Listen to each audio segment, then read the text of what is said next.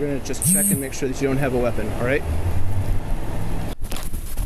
Hands up! Hands up! Hands up! Get your hands up! Get your hands up! Get your hands up! Officers were responding to a robbery call on August 3rd. They spotted two men who fit the suspect's description. Officers told them to keep their hands out of their pockets and put their hands up. What are your names? Both listened until Bailey took off. His hands were near his waistband. Officers pulled their guns and fired. We counted eight shots. An autopsy report found four bullets hit Bailey, three in the back and one in the arm. Once he was down on the ground, bleeding and in handcuffs, police searched him and they did find a gun. Bailey's family and their attorneys saw the video for the first time today. Nine News reporter Jennifer Meckles is live in Colorado Springs tonight with reaction from the family and the community as well. Jennifer? Kim, there was a lot to digest after the Colorado Springs Police Department released this video today. And the attorney for Bailey's family says they're devastated. It's been a, a crushingly difficult day for the Bailey family, as you might imagine. While loved ones gathered in Colorado Springs to grieve De'Von Bailey. His uh, funeral is tomorrow, and there's a wake today.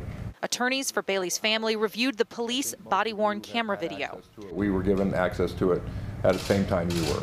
What's going on today? Mr. Bailey was trying desperately to flee from the police, and he did not have a weapon in his hand and had not shown any weapon uh, when he was shot in the back and killed, shot multiple times. So we got a report of two people. The family's attorneys do not dispute that police gun, later right? found a gun on Bailey, but they argue he was never threatening to use it. The police appear to argue that they shot Mr. Bailey because they feared that he was uh, uh, going for a gun at the time.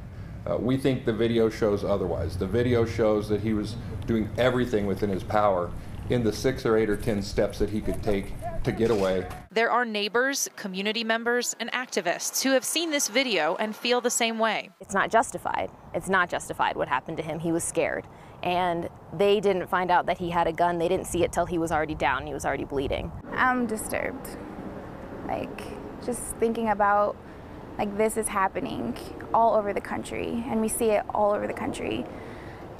But now it's happening in our backyard. While prosecutors review the evidence in this case, a memorial for Bailey still sits at the site of the shooting, and visitors continue to come by and pay their respects.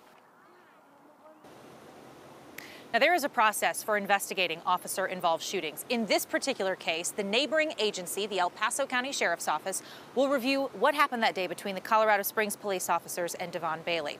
Then, as of today, they've handed that over to prosecutors, the 4th Judicial District. Prosecutors will review the evidence and make a decision about whether or not the shooting is justified. They told us today that could take three to four months. But the Bailey family is calling for something different. They'd like to see an independent investigation. They'd like to see the state attorney general involved in this, and they'd like to also see a grand jury review this evidence and make a decision.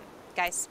And Jennifer, while they were with the at the wake today, they have been saying they really want this story out there, so they were fine with their attorneys speaking on this day.